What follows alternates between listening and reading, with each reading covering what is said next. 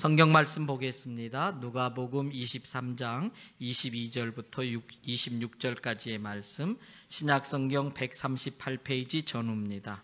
누가복음 23장 22절 빌라도가 세 번째 말하되 이 사람이 무슨 악한 일을 하였느냐 나는 그에게서 죽일 죄를 찾지 못하였나니 때려서 놓으리라 하니 그들이 큰 소리로 재촉하여 십자가에 못 박기를 구하니 그들의 소리가 이긴지라 이에 빌라도가 그들이 구하는 대로 하기를 언도하고 그들이 요구하는 자 곧 밀란과 살인으로 말미암아 옥에 갇힌 자를 놓아주고 예수는 넘겨주어 그들의 뜻대로 하게 하니라. 그들이 예수를 끌고 갈 때에 시몬이라는 구레네 사람이 시골에서 오는 것을 붙들어 그에게 십자가를 지워 예수를 따르게 하더라. 아멘. 할렐루야 아, 오늘도 여러분과 여러분의 가정과 자녀 그리고 하시는 모든 일들마다 하나님의 돕는 손길이 함께 하시기를 주님의 이름으로 축복합니다. 오늘 우리가 읽은 본문 말씀인 누가복음 23장에는 빌라도가 예수님을 신문하고 어, 또 이제 어, 사형 온도를 내린 후에 어, 사형을 하도록 유대인들에게 넘겨주는 내용이 나와요. 어, 그러나 빌라도가 예수님을 신문하고 내린 결론은 이런 겁니다. 예수에게는 죽일 만한 죄가 없다. 이게 결론이었어요. 빌라도를 좀 잘 생각해 보면 그는 그냥 유대 지역의 총독이 된 사람이 아니라는 걸 알 수 있습니다. 로마가 정복하고 있는 나라들 중에서 가장 다루기 힘든 민족이 유대인들이었었어요. 그리고 가장 골치 아픈 문제가 많이 발생되는 곳이 예루살렘이었습니다. 그래서 그 예루살렘은 아무나 맡길 수 없었습니다. 로마의 황제가 신뢰하고 충분히 감당할 만한 실력이 된다고 그래서 빌라도를 발탁해서 믿고 그에게 맡긴 겁니다. 때문에 빌라도는 나름 꽤 똑똑한 사람이었을 거라고 우리는 알아야 됩니다. 그가 유대의 총독이 되자 유대 지역을 연구를 많이 했을 것입니다. 이 지역이 왜 이렇게 골치 아프고 문제가 많은가 답을 금방 알게 됐습니다. 종교적인 문제구나. 그래서 빌라도는 그때부터 유대 지역을 잘 통치하기 위하여 유대의 종교를 많이 연구했을 거예요. 그래서 대제사장들을 비롯해서 유대의 국회격에 해당되는 사내들인 공의의 의원들이 예수님을 붙잡아 가지고 왔을 때에 예수님은 빌라도는 그것이 어떤 문제인지를 정확히 이해했고 다 파악을 할 수 있었습니다. 당시 기득권자인 대제사장들과 바리새인 그룹이 주축이 된 이 사내들이는 마치 우리나라의 국회 같은 곳이에요. 이 사내들인 공의회에서 예수님을 취조하고 신문하고 내린 결론이 사형에 처해야 된다. 근데 그들이 내린 제목이 뭔지 아십니까? 신성 모독죄예요. 자기가 하나님의 아들이라고 자기가 하나님이라고 했기 때문에 신성 모독죄에 걸린 거예요. 물론 이것도 엉터리 가짜 증인들이 거짓 증언을 하고 조작을 해서 내린 판결입니다. 그러나 당시 로마 제국은 정복한 국가에게 많은 자율권을 주고 있었지만 사형 집행권까지는 허락하지 않았어요. 그래서 이 사내들인 공의회가 예수님이 사형에 해당하다고 판결은 내렸지만 사형 집행을 할 수 없어서 이제 집행권자인 빌라돈테 와서 빨리 예수를 사형에 처하라고 지금 요구하는 상황이에요. 빌라도는 그 모든 전후 사정을 잘 알았던 것 같습니다. 그래서 그가 내린 결론은 이것은 그들 유대인들 사이의 종교적인 문제이지 로마의 법에 의한다면 예수를 죽일 이유가 없다는 것입니다. 누가복음 23장 4절 말씀 보세요. 빌라도가 대제사장들과 무리에게 이르되 내가 보니 이 사람에게 어떻다 죄가 없도다 하니 그러자 무리들이 막 소리를 지르면서 막 강하게 대들기 시작하는데 5절입니다. 함께 읽어봅니다. 무리가 더욱 강하게 말하되 그가 온 유대에서 가르치고 갈릴리에서부터 시작하여 여기까지 와서 백성을 소동하게 하나이다. 어디서부터 시작됐다고요? 갈릴리. 이 말을 들은 빌라도가 아 이거구나. 이 골치 아픈 문제를 떠넘길 수 있는 빌미를 찾은 거예요. 이 갈릴리 지역은 분봉왕이라고 그러지요. 어, 유대인들의 원래 왕족을 인정해 가지고 너희가 로마의 권한을 물, 이렇게 이양받아서 그 지역을 다스려라 그랬는데 분봉왕 갈릴리 지역의 분봉왕이 바로 헤롯 안티바였어요. 마침 이 헤롯 안티바가 6월절 명절을 지키려고 예루살렘에 와 있었어요. 빌라도는 그것에 착안해서 이 골치 아픈 문제를 그에게 떠넘겨 버린 겁니다. 여러분, 헤롯이 어떻게 반응을 했는지 23장 8절을 보세요. 헤롯이 예수를 보고 매우 어떻게 했다? 근데 원어적인 의미는 재미있어 했다. 음. 왜냐하면 이는 그의 소문을 들었으므로 보고자 한 지 오래됐다. 두 번째는 어떤 이적을 행할까 바랬던 연고다. 헤롯이 왜 예수님을 보고 했을, 보고 싶어 했을까? 잘 아시는 것처럼 헤롯 안티바는 자기 동생의 아내를 사모했어요. 그래서 불법으로 이혼을 하고 자기 동생 아내 헤로디아와 억지로 결혼했습니다. 아무도 무서워서 그것이 잘못이라고 말을 못 하는데 유독 세례 요한만큼은 그건 죄입니다. 그러면 안 됩니다. 이때 제일 마음이 불편한 게 누구였을까요? 왕비가 된 헤로디아예요. 그래서 헤롯 대왕이 잔치를 베푼 많은 사람들이 있는 데서 자기 딸을 갖다가 요염하게 춤을 추게 해서 헤롯으로 하여금 정신없게 만들고 너의 소원이 뭐냐 묻게 만들어요. 그 소원이 뭐였어요? 세례 요한의 목을 수반에 담아달라는 거예요. 체면도 지켜야 되고 약속도 했고 그래서 안 그래도 꼴 보기 싫은 그 세례 요한을 목을 친 겁니다. 그런데 곧 이어서 한 인물이 나타났는데 예수의 소문이 들리는 거예요. 근데 사람들이 뭐라고 그러냐면은 저 예수가 어쩌면 세례 요한이 부활한 것일 것이다. 그 말을 듣자 헤롯이 불안해서 견딜 수가 없는 거예요. 아니 내가 분명히 목을 쳤는데 부활했단 말이야? 이제 내가 어떻게 되지? 그때부터 악몽에 시달려요. 그런데 그 예수가 지금 저렇게 초라한 몰골로 자기한테 사형수의 제목을 가지고 지금 질질 끌려온 거예요. 예수의 몰골이 말이 아닙니다. 이 말 저 말 물어봐도 대답도 제대로 못하고 그냥 입 다물고 있는데 자기 몸도 힘들어서 가누지 못할 정도로 비틀거리는 거예요. 전혀 자기를 위협할 만한 존재로 보이질 않았어요. 그래서 어떻게 합니까? 23장 11절입니다. 헤롯이 그 군인들과 함께 예수를 업신여기고 어떻게 했어요? 희롱했어요. 또 뭐 했어요? 빛난 옷을 입혀서 야 네가 유대인의 왕이라며 야 왕이라면 이런 옷 주면 입어줘야지. 그러면서 자기 옷 하나 던져준 거예요. 음. 그리고 빌라도한테 도로 돌려 보냈어요. 여기서 우리가 생각해야 될 게 있습니다. 혹시 오늘 우리들 중에 이 헤롯 같은 마음으로 이 자리에 와 있는 사람은 있지 않을까? 헤롯 같은 마음으로 이 예배의 자리에 있는 사람은 있지 않을까? 자기를 살펴야 돼요. 헤롯 같은 사람은 어떤 사람일까요? 어떤 이유로든 죄책감에 시달리다가 좀 위로받고 싶어서 온 사람. 두려움에 어떤 일로 인해서 두려움에 사로잡혀 있다가 좀 교회 나와서 좀 예배 드리면 마음이 좀 편해지진 않을까? 가서 회개하면 다제 용서해 준다는데 이 죄책감에서 내가 좀 노임 받을 수 있지는 않을까? 혹시 살아가면서 어떤 어려운 문제를 해결해야 되는데 내가 해결할 능력은 없고 교회 가서 기도하면 예수라는 사람이 다 들어준다더라. 기적을 행해서 다 풀어준다더라. 그래서 혹시 이 자리에 와 있지는 않을까 하는 거예요. 아닙니다. 예배는 내가 중심이 아닙니다. 예배의 중심은 하나님이십니다. 예배의 중심은 예수님이십니다. 예배는 이적을 바라고 나오는 것이 아닙니다. 예배는 하나님께 경배하는 시간입니다. 예배는 예배 시간에 주시는 하나님의 말씀을 듣고 그 말씀대로 살겠다고 결단하는 시간입니다. 예배는 그 결단대로 살고자 하지만 내게 그럴 힘이 없다는 걸 잘 알기 때문에 하나님 그렇게 말씀대로 살아갈 수 있도록 내게 힘과 능력을 주세요. 성령님의 능력을 구하고 성령님의 능력을 힘입어 나가는 자리가 예배의 자리인 것입니다.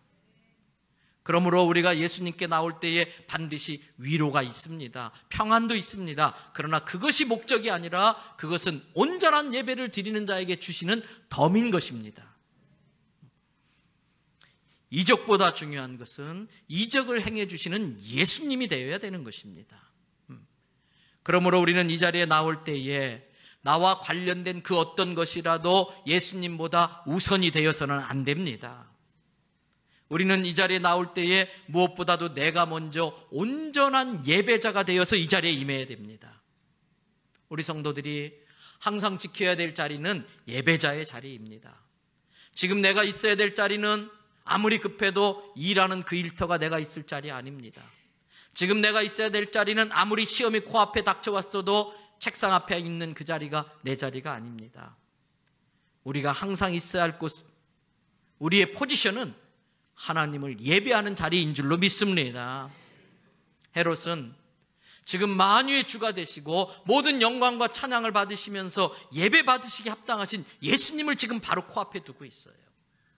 그럼에도 불구하고 그는 예수님이 어떤 분인지를 몰랐어요. 그 자리가 얼마나 귀한 자리인지 몰랐어요. 그래서 그는 영생을 얻을 수 있는 기회, 구원을 얻을 수 있는 찬스를 놓쳐버리고 만 겁니다. 어찌되었든 이렇게 해서 예수님은 다시 빌라도 앞에 서게 됐습니다. 이 골칫거리를 어떻게 해야 될까 고민 고민하던 빌라도는 나름대로 아이디어를 짜냈습니다. 그 아이디어가 누가복음 23장 13절에서 16절에 나옵니다.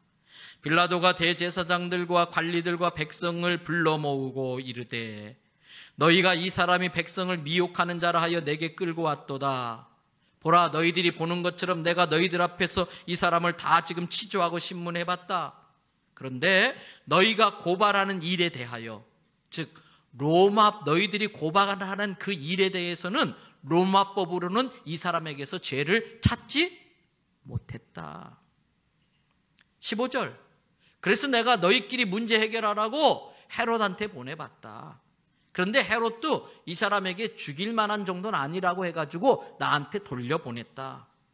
그런데 그냥 돌려보내면 너희들이 가만 안 있을 것 같으니까 우리 협상 한번 하자. 그리고 내놓은 게 16절이에요. 내가 적당히 좀 때려서 내보내겠다. 이 성난 군중들을 예수님을 좀 매질해서 내보내면 화를 좀 누그러뜨릴 수 있을까 싶어서 빌라도가 내놓은 협상안인 것입니다. 빌라도가 이렇게 가급적 예수님을 살리려고 하는 데는 그만한 이유가 있어요. 마태복음 27장 19절입니다. 같이 한번 읽어볼까요?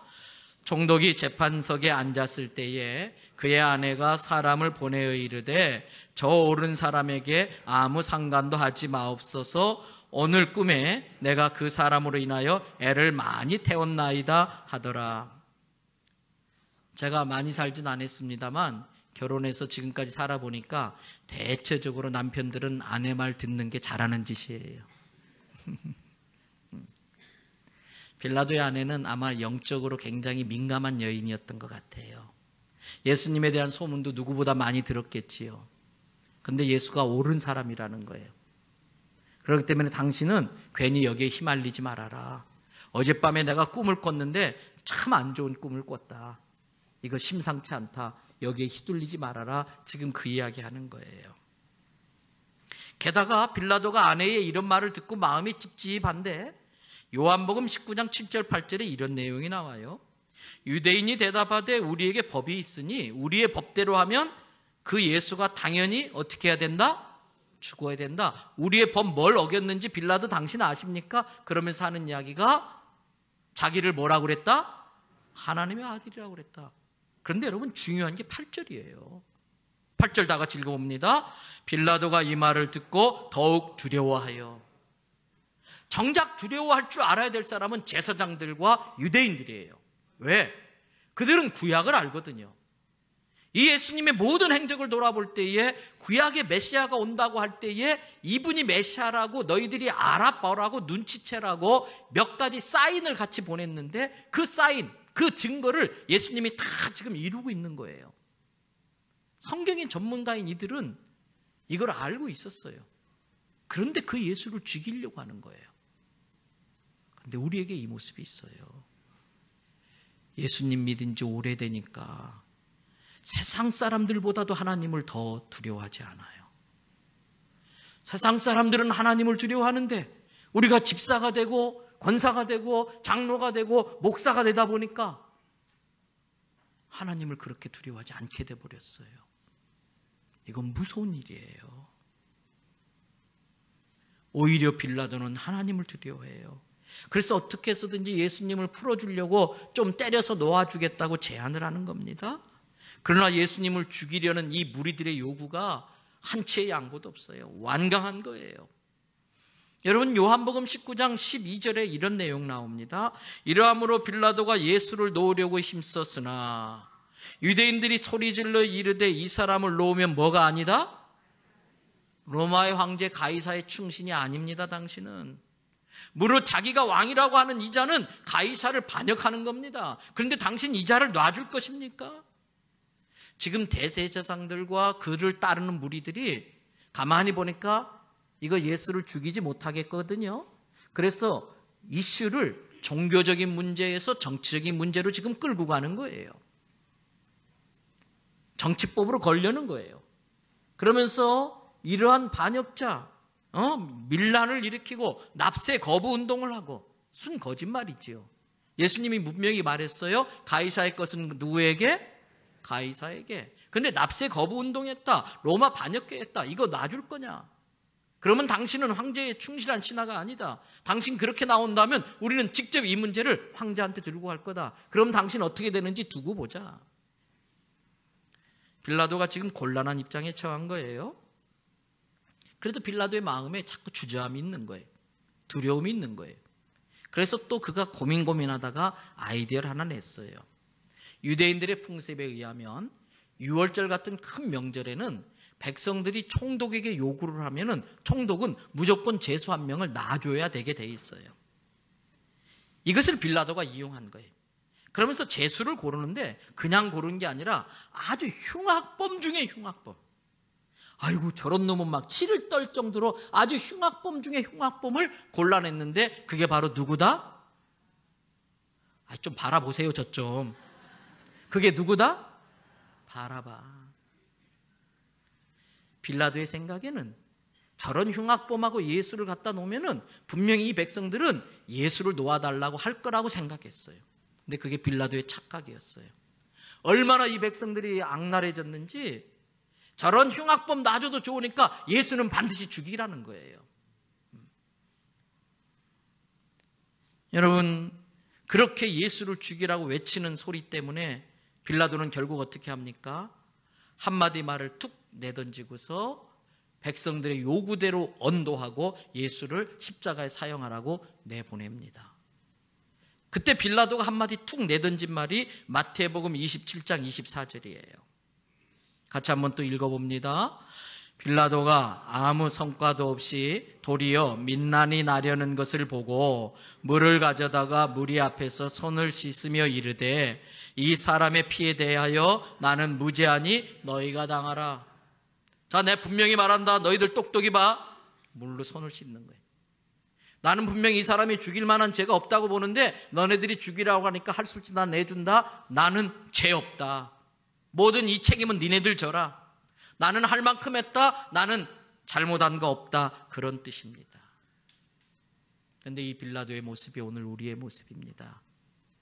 어떻게 이런 세상에서 하나님의 말씀대로 삽니까? 도저히 안 됩니다. 나는 나름대로 한다고 했습니다. 어떻게 이 험한 세상에서 법대로 다 삽니까? 나는 나름대로 한다고 했습니다. 어쩔 수 없었습니다. 자기를 합리화시키고 있습니다. 그렇지 않습니다. 자리가 주는 책임이 있습니다. 자리가 갖고 있는 힘이 있습니다. 그 자리에 있는 사람은 그 힘을 바르게 사용할 줄 알아야 됩니다. 의롭게 쓸 줄 알아야 됩니다. 그 자리를 맡겨주신 분의 뜻에 따라 그 자리의 힘을 사용해야 됩니다. 여러분, 우리 모두에게는 각자 자기의 자리가 있습니다. 아버지의 자리가 있습니다. 어머니의 자리가 있습니다. 아내의 자리가 있고 남편의 자리가 있고요. 목사라고 하는 자리가 있고요. 장로, 권사, 안수집사, 집사라고 하는 자리가 있습니다. 무엇보다도 예수님을 믿는 그리스도인이라고 하는 자리가 있습니다. 우리는 그 자리에 대해서 책임을 져야 됩니다. 내가 원하든 원하지 않든 지금 하고 있는 그 일, 그 일터의 그 자리는 하나님이 내게 맡겨주신 자리인 것입니다. 그게 우리의 믿음 돼야 됩니다. 여러분, 빌라도가 똑똑해서 총독이 된 거 아니에요. 빌라도가 로마 황제의 신임을 받아서 총독이 된 것이 아니에요. 바로 이때를 위해서 하나님이 빌라도를 유대의 총독으로 앉혀 주신 거예요. 에스더서에 보면 남유다가 이제 망하고 이스라엘 백성들이 바벨론의 포로로 끌려가게 돼요. 그때에 바벨론을 멸망시키고 페르시아가 차지하게 되는데 그 페르시아에 하만이라고 하는 내시가 있어요. 근데 유대인 모르드게가 문지기인데 성문 문지기인데 문지기 주제에 자기가 지나가는데 절을 안 해요. 왜? 하나님 외에는 사람에게 절할 수 없으니까 모르드게가 자기의 신앙을 지킨 거예요. 그거 아주 얄미워 죽겠어요. 지나갈 때마다 출근할 때마다 퇴근할 때마다 저거 어떻게도 못하겠고 그래서 어느 날 날 잡아서 작정을 한 거예요. 이번 기회에 저 꼴보기 싫은 유대인들 한 번에 다 쓸어버리자. 다 죽여버리자. 네, 여러분 그때 공교롭게도 그 페르시아의 왕이 아수에로인데 아예 아수에로의 왕비가 폐위가 되면서 그 뒤로 왕비로 발탁한, 발탁된 사람이 누구예요? 에스더예요. 그 왕비 에스더와 모르드게가 주고받은 유명한 대화가 있습니다. 에스더서 4장 13절에서 16절. 모르드게가 심부름 온그 사람을 시켜서 에스더에게 화답하되 너는 왕궁에 있으니까 안전한 줄 알고 모든 유다인들이 다 죽어도 너 홀로 목숨 건질 수 있을 거라고 생각하지 말아라. 14절 이때 내가 만일 네가 할 수 있는 역할을 하지 않고 잠잠하고 말을 하지 않으면 하나님께서 유대인들은 다른 방법으로 말미암아 노임을 받고 구원을 얻게 해주겠지만 그 역할과 책임을 다하지 못한 너와 내 아버지의 집은 멸망할 것이다. 네가 예뻐서 왕후가 된 줄 아느냐? 네가 왕후의 자리를 얻은 것은 이때를 위하여 하나님께서 너를 그 자리에 앉혀 놓으셨다. 그 말을 들은 에스더가 깨달은 거예요. 그래서 에스더가 모르드게에게 회답을 합니다. 16절을 보십시오. 다 같이 함께 읽겠습니다. 당신은 가서 수산에 있는 유다인을 다 모으고 나를 위하여 금식하되 밤낮 3일을 먹지도 말고 마시지도 마소서 나는 나의 시녀와 더불어 이렇게 금식한 후에 규례를 어기고 왕에게 나아가리니 죽으면 죽으리이다 하니라. 잘 알겠습니다. 당신은 수산성에 있는 모든 유대인들을 모아서 삼일 밤낮을 먹지도 마시지도 않고 나를 위해서 금식해 주십시오. 중보기도 해 주십시오. 나와 내 시녀들도 그렇게 금식한 다음에 왕이 부르지 않았는데 감히 왕 앞에 가면 누구든지 왕비도 말할 것도 없이 그 자리에서 처형을 당한다는 이 규례가 있다는 걸 잘 알지만 죽으면 죽으리라는 심정으로 내가 가서 이 문제를 해결해 보겠습니다. 여러분, 우리가 어떤 위치에 있든지 신앙은 오늘 내가 있는 이 자리를 하나님이 보내셨다라고 받아들이는 게 신앙이에요. 때로 그 자리를 지키는 것이 너무나 힘들고 어렵지만은 이 에스더의 심정으로 죽으면 죽으리다 하고 그 자리에서 해야 될 자기의 목과 역할을 해내야 되는 게 신앙이에요. 우리가 그렇게 충성스럽게 그 자리에 앉히신 분의 뜻을 따라 그 일을 하다 보면 하나님께서 필요하다 싶으면 때가 되었다 싶으면 역할 다 했다 싶으면 더 필요한 곳에 옮겨 주시는 거예요. 개인적인 이야기를 해서 죄송합니다만은 종종 서울에 알만한 큰 교회들에게서 저를 담임 목사로 부르고 싶다고 이력서를 내달라는 요청이 와요. 근데 제가 이력서를 한 번도 안 냈어요. 왜냐하면은 예를 들면 제가 이력서를 내는 순간 나는 대연 성결교회라고 하는 이 여자와 이혼한다는 그런 마음이 내 안에 있다는 뜻일 거예요. 그런 마음으로 목회하는데 하나님께서 은혜 주실 리 없고 교회 부흥할 리 없지요. 그래서 제가 그럽니다. 이력서 못 냅니다. 그러나 청빙서는 보내려면 보내십시오. 음. 제가 이력서도 안 냈는데 그 큰 교회가 그 많은 장로님이 마음을 하나로 모아서 저 같은 사람을 담임 목사로 불러준다면 거기에 하나님의 뜻이 있을지 모르기 때문에 제가 한번 기도해 보고 하나님의 뜻이면 가고 아니면 그래도 못 갑니다. 근데 지금까지 청명서를 보낸 교회는 하나도 없어요. 이것을 참 아쉬워하든지 좋아하든지 그건 제가 알 바 아닙니다만 여러분이 있으라고 붙잡아서 제가 있는 거 아니고요. 떠밀어서 가라고 해서 갈 수 있는 것도 아니에요. 하나님께 여기에서 뼈 먹고 죽으라면 여기서 죽어야 되고요. 내일이라도 가라면 당장 짐 짜서 내일 가야 되는 게 우리들의 모습인 거예요. 우리가 할 일은 하나님께서 그만두라고 확실히 말하실 때까지 싫든 좋든 충성스럽게 하나님의 뜻을 감당하기 위하여 그 자리의 역할을 그 자리에서 해야 할 일을 잘 하는 거예요. 그런데 빌라도는 그렇게 하지 못했습니다. 하나님이 맡겨주신 힘을 바르게 사용하지 못했어요. 의롭게 쓰지 못했어요. 이런 생각해 봅니다. 만일 때 빌라도가 최선을 다해서 예수님을 보호했더라면 어떻게 되었을까? 무슨 말이냐? 내가 아무리 조사해봐도 이 사람은 사형당할 일이 없다. 그런데 내가 그걸 모르는 채 하고 죄 없는 이 사람을 사형시키면 로마의 장교로서 대로마 제국의 총독으로서 나의 명예가 누가 되는 일이다. 나는 그렇게 못한다. 끝까지 예수님 보호했더라면 어떻게 됐을까요? 최소한 여러분, 지금처럼 인류가 사라질 때 사라지기까지 계속 애워져야 될 이 사도신경 안에서 빌라도라는 이름이 저주받은 이름으로는 불려지지 않을 수 있었을 거예요. 정말 그가 예수님을 끝까지 지켰었더라면 반드시 하나님이 빌라도를 책임져 주셨고 그에게 상급을 주시고 빌라도라는 이름은 자랑스러운 이름, 영광스러운 이름이 되었을 줄로 저는 믿습니다. 그런데 빌라도가 그렇게 못했어요. 왜 못했을까요? 당장에 있는 자기 자리 지키려고. 그런데 자리는 내가 지키는 게 아니에요. 자리는 그 자리를 주신 하나님이 지켜주시는 거예요. 그래서 우리는 그 자리에서 내가 해야 할 역할만 잘 감당하고 절심히 하나님의 뜻대로 일만 하면 돼요. 근데 빌라도는요, 이 사람들에 의해서 자기 자리가 밀려날 걸로 생각한 거예요. 여러분, 사람을 두려워했기 때문에 빌라도가 자기 역할을 못했어요. 두려움은 두 종류가 있어요. 유익한 두려움과 나쁜 두려움이 있어요. 불을 두려워해야 불에 대지 않습니다. 물을 두려워해야 물에 빠지지 않습니다. 하나님을 두려워해야 지옥에 가지 않습니다.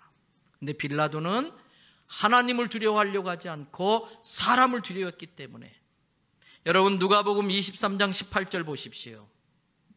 무리가 어떻게 했어요? 소리 질렀어요. 또 21절 보세요. 그들이 또 어떻게 했어요? 소리 질렀어요. 23절 또 보세요. 그들이 어떻게 해요? 큰 소리로 재촉하여. 그 큰 소리에 빌라도가 눌리고 만 겁니다. 여러분, 적어도 오늘 본문만 보고 우리가 따져본다면 때로는 많은 사람 다수의 의견이 틀릴 수도 있다는 걸 우리는 알아야 돼요. 많은 사람들의 주장이라고 그래서 그것이 항상 옳은 것은 아닐 수 있는 거예요. 소리가 크다고 해서 항상 진리라고 하는 것은 아니에요. 여러분, 우리가 잘 알잖아요. 광우병 사태 때에 경험해 봤잖아요. 목소리가 큰 사람이 이기는 사회는 미성숙한 사회입니다. 정말 좋은 세상은 참 진리가 이기는 세상입니다. 양치기 소년의 거짓말을 아시지요. 늑대가 나타났다, 늑대가 나타났다, 거짓말하다가 진짜 늑대가 나타나니까 아무도 그를 도와주지 않았어요. 거짓이 미화되고 거짓이 옳은 것으로 호도되는 사회는 결국은 늑대가 나타나도 아무도 안 도와주고 망할 수밖에 없는 것입니다. 그러므로 대연성결교회 성도 여러분, 다수의 자리이든 소수의 자리이든 진리에 서시기를 바랍니다. 그 진리의 자리에 서기 위해서 참 진리를 분별할 줄 아는 지혜가 하늘로부터 우리에게 주어지기를 축복합니다. 지금까지 우리는 헤롯의 자리에 대해서 살펴봤고요. 빌라도의 자리를 살펴봤어요. 근데 여기에서 우리가 또 하나 살펴봐야 될 자리가 있습니다. 여러분, 때로 다수의 자리에 있으면 마음이 참 편하지만 소수의 자리에 쓰면 불안하고 두려움이 들 때가 있어요. 그래서 진리인 줄 알면서도 소수의 자리에 쓰지 못할 때가 있습니다. 그러나 그게 진리라면 우리는 때로는 억지로라도 그 자리에 서야 되고요. 얼떨결에라도 그 자리에 서야 하는 것입니다. 오늘 본문 26절 말씀을 보세요. 다 같이 함께 읽겠습니다.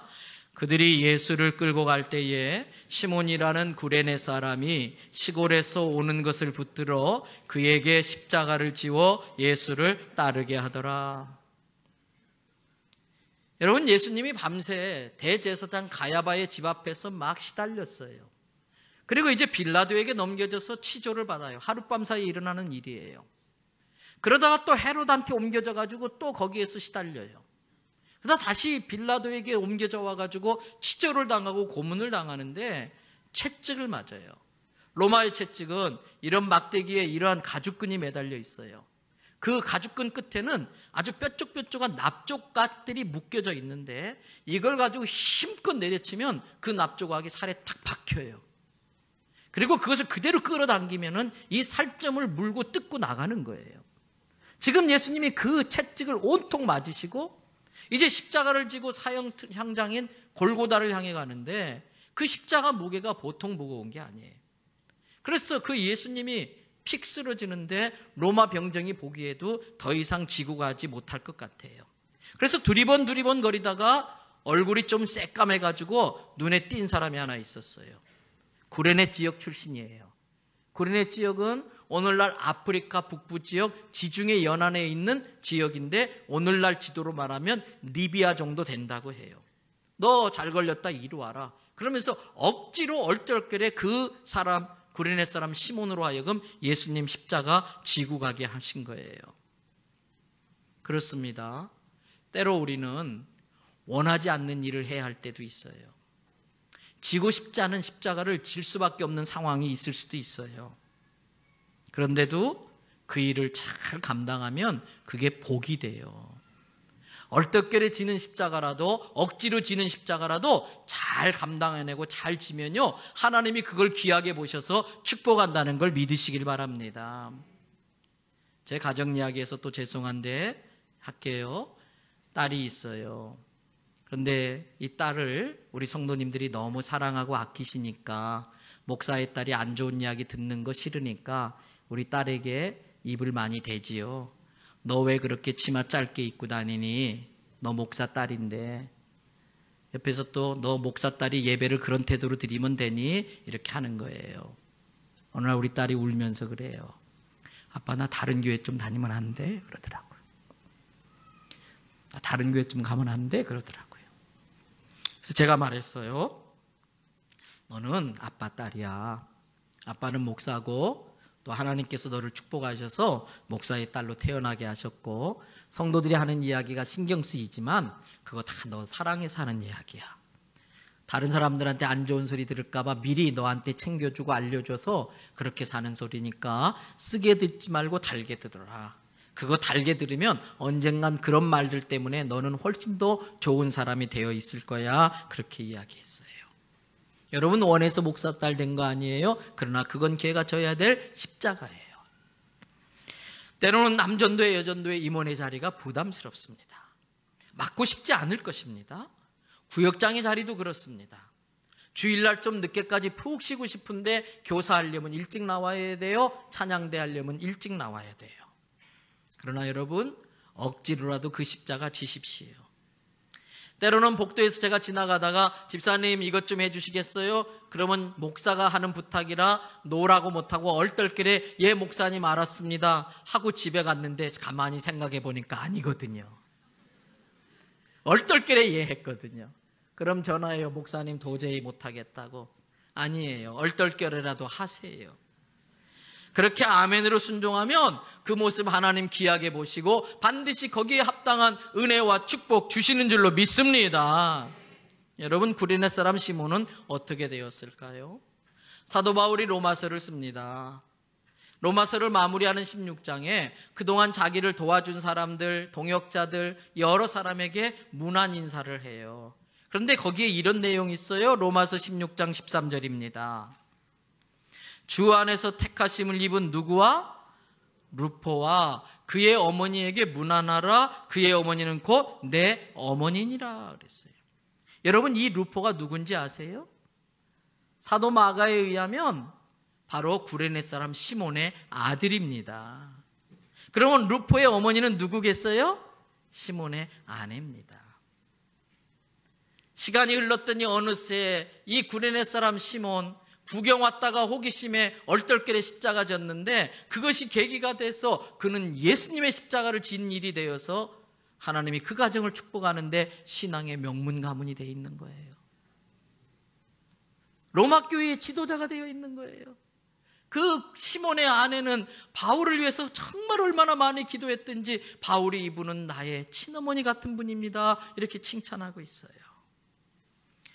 사랑하는 성도 여러분, 그러므로 주께서 맡겨주신 십자가라면 때로 억지로 지는 십자가라도 어떨결에 지는 십자가라도 반드시 그 십자가 지면 하나님이 상급 주시고 축복한다는 거 믿으시기 바랍니다.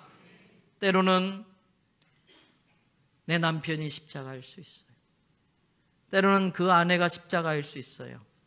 때로는 며느리가 내 십자가일 수 있고요. 때로는 나를 힘들게 하는 시어머니가 십자가일 수 있고요. 때로는 직장에서 나를 시시콜콜 따지고 트집거는 그 이상한 직장 상사가 나의 십자가일 수 있어요. 그런데도 여러분, 그거 잘 지어내시기를 바랍니다.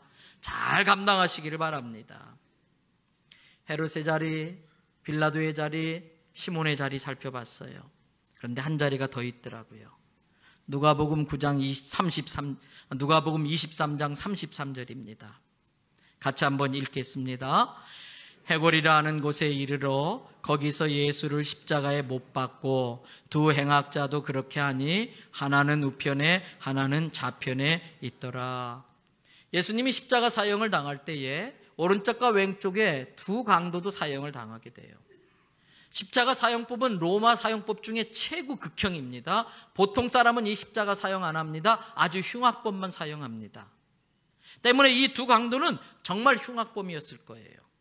여러분, 그렇게 십자가에 사형 당할 정도로 흉악범으로 살고 십자가 사형 당하는 것은 불행입니다. 그런데 그렇게 불행이지만 그런데 어떻게 공교롭게도 예수님과 함께 십자가 사형을 당하게 된 것은 그나마 다행입니다. 왜? 사형수로 죽을 수밖에 없는 그 불행을 구원받을 수 있는 다행으로 바꿀 수 있기 때문에 그래요. 여러분 그런데 이 두 강도가 그 기회를 어떻게 사용했는지 누가복음 23장 39절부터 43절을 보세요. 달린 행악자 중 하나는 비방하여 이르되 내가 그리스도가 아니냐 너와 우리를 구원하지 아니 구원하라 하되 어 네가 그 메시아라며 네가 그리스도라며 네가 능력 많이 행할 줄 안다며 지금 당장 너와 우리를 구원해 봐라. 비아냥거리고 놀리는 거예요. 비웃는 거예요. 그런데 40절 보세요. 하나는 그 사람을 꾸짖는 거예요. 이 사람아 지금 무슨 소리 하는 거야? 우리 같은 죄인이 이분과 같은 동일한 정죄를 받고도 하나님을 두려워하지 아니하느냐? 아니다. 41절.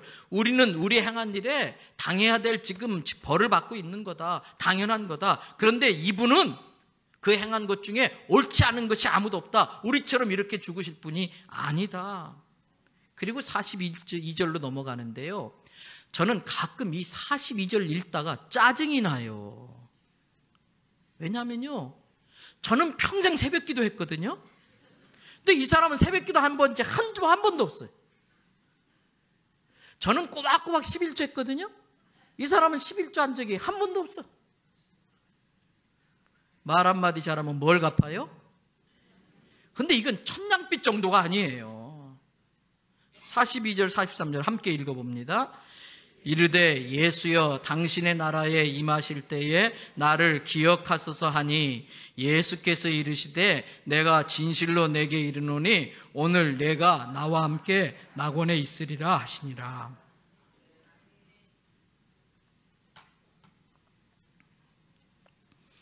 이것을 은혜라고 말해요.